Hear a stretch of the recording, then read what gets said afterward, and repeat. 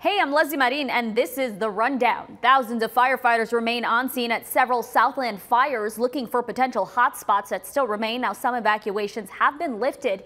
You can get the latest details, including those evacuation orders at CBSLA.com. An unhealthy smoke advisory remains in place for the entire San Fernando Valley through tonight because of the ash and smoke coming over the region from the Saddle Ridge fire. The South Coast Air Quality Management District says anyone who can smell smoke or see ash should stay inside with the windows closed. Fire investigators were back in Sylmar yesterday focusing on the Edison Power Tower as the possible ignition point of the Saddle Ridge fire.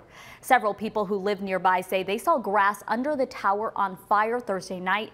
Edison said it is committed to finding out what started that fire.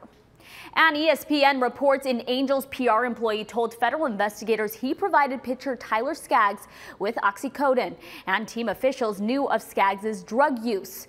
Although in a statement, the Angels denied those claims, Skaggs was found dead at the team hotel in Texas on July 1st. A toxicology report said a mixture of alcohol, fentanyl, and oxycodone were found in his system.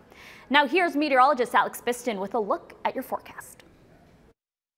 Hi, Leslie. Lots of sunshine today across Southern California. Temperatures are going to be cooler as well. You can expect lower 70s along the coast, upper 70s for LA and Orange County Metro. As we head to the valleys, temperatures will top out in the lower 80s as well as the IE today. We will continue to see cooler temperatures into our Monday and then starting Tuesday, we will see a warming trend that will continue through the middle of the week. Then temperatures will cool by the end of the week and into the weekend.